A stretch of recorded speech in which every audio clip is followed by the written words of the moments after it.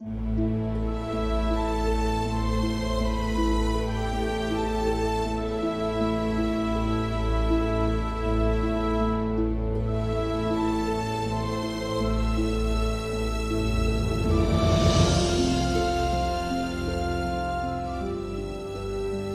più di quattro mesi che gira per il mondo in cerca di te e, non avendoti potuto mai trovare, ora si è messo in capo di cercarti nei paesi lontani del nuovo mondo.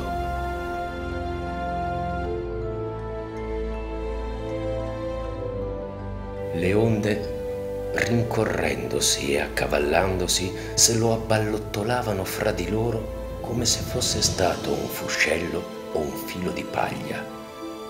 Alla fine, e per sua buona fortuna, venne un'ondata tanto prepotente e impetuosa che lo scaraventò di peso sull'arena del lido.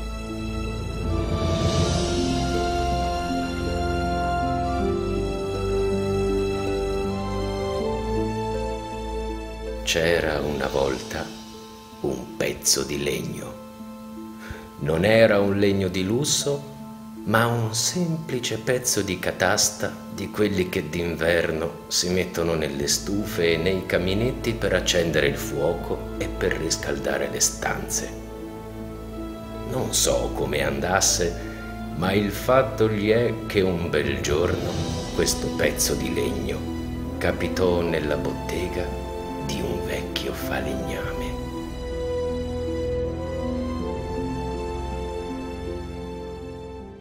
Questo legno è capitato a tempo. Detto fatto, lo prese subito per cominciare a levargli la scorza e a disgrossarlo, ma rimase col braccio sospeso in aria perché sentì una vocina sottile, sottile che disse raccomandandosi Non mi picchiar tanto forte. Ma di dove sarà uscita questa vocina? Eppure qui non c'è anima viva che sia per caso questo pezzo di legno che abbia imparato a piangere e a lamentarsi come un bambino. In quel punto fu bussato alla porta. Allora entrò in bottega un uomo il quale aveva nome Geppetto. Stamani mi è piovuta nel cervello un'idea. Sentiamola ho pensato di fabbricarmi da me un bel burattino di legno.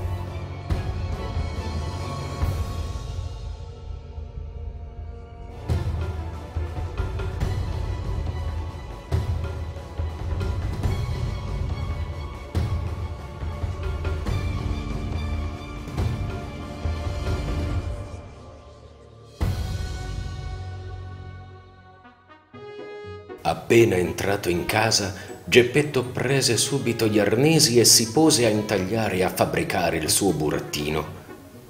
Che nome gli metterò? disse fra sé e sé.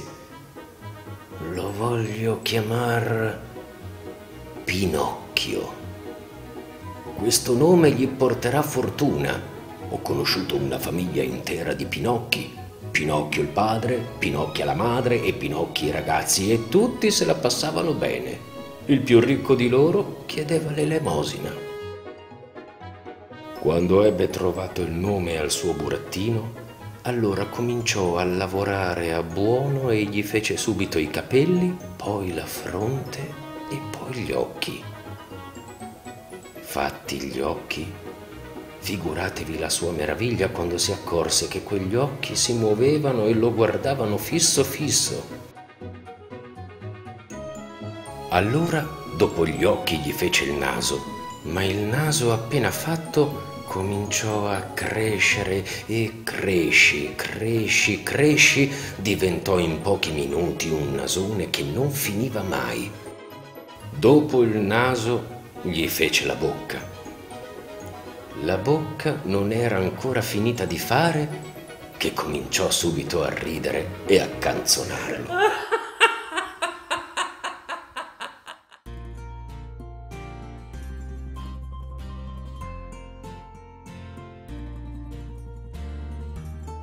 Geppetto, che era povero e non aveva in tasca nemmeno un centesimo, gli fece allora un vestituccio di carta fiorita, un paio di scarpe di scorza d'albero e un berrettino di midolla di pane.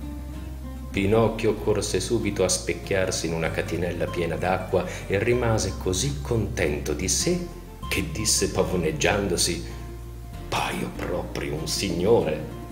Davvero, replicò Geppetto, perché tienilo a mente, non è il vestito bello che fa il Signore, ma piuttosto il vestito pulito.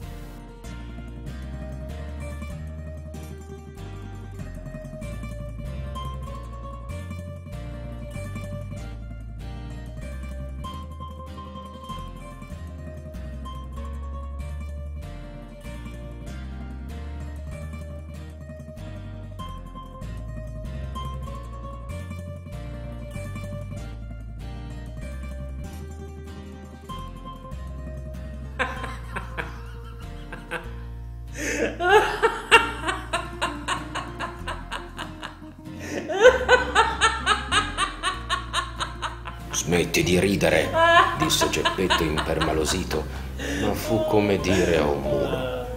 Smetti di ridere, ti ripeto, urlò con voce minacciosa e allora la bocca smesse di ridere, ma cacciò fuori tutta la lingua.